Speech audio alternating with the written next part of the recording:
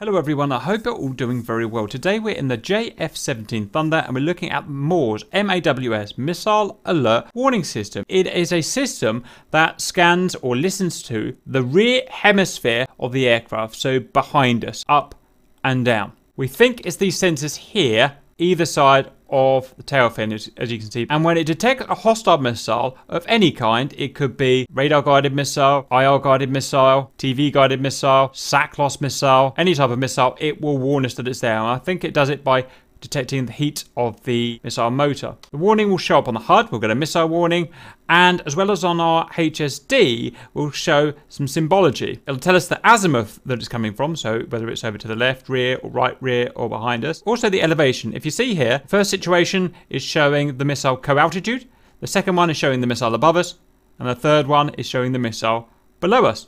Range does affect this sensor. Usually it's best within 5 kilometers or about 3.5 miles. Our setup is I've got me, I'm going to fly along, and we've got RC who's going to fire heat seekers at us. So I can see the J-17 behind us. He's our primary threat. Fire when you're ready, RC. He's going to fire a heat seeker at us. Fox 2. Missile. And missile. stop. So missile there flashing. Betty's warning us, or Amy's warning us. Plus, it, it was below us. You saw the arrow below us. It's now co-altitude with us, and it's on our rear Six o'clock. Missile, missile, missile, missile. Boom! Hit us. Right, RC, can you do the same but from about 45 degrees left or right just to show the uh, valued viewers what that looks like? Yep. Coming out. Fox. Missile. missile and you can see it again, it's below us. Missile, it's co-altitude, it's coming from the left.